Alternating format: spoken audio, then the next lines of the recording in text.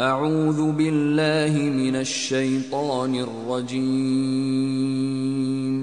بسم الله الرحمن الرحيم. السماء انفطرت. kada se nebo rascijepi وذا الكواكب انتثرت. i kada zvijezde popadaju وذا البحار فجرت. i kada se mora jedna u uliju. i kada se grobovi ispreturaju.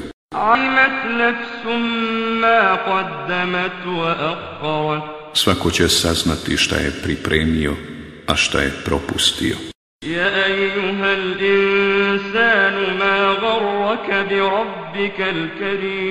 o čovječe zašto da te obmanjuje to što je gospodar tvoj plemenit?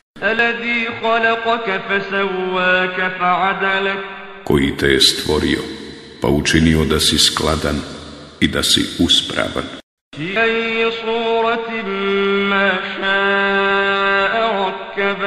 I kakav je htio, lik ti dao.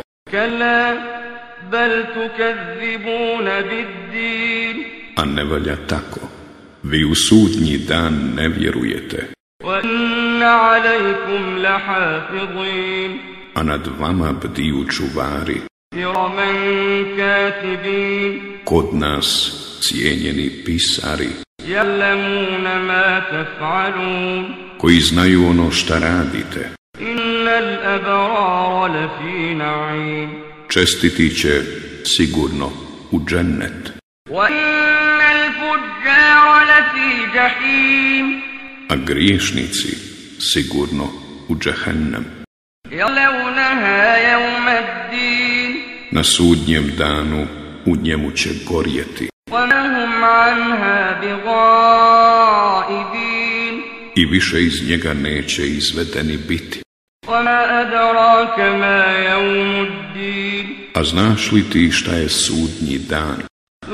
ما أدراك ما يوم الدين i još jednom znaš li ti šta je sudnji dan يوم لا تملك نفس لنفس شيئا والأمر يومئذ لله Dan kada niko nikome neće moći nimalo pomoći. Toga dana će vlast jedino Allah imati.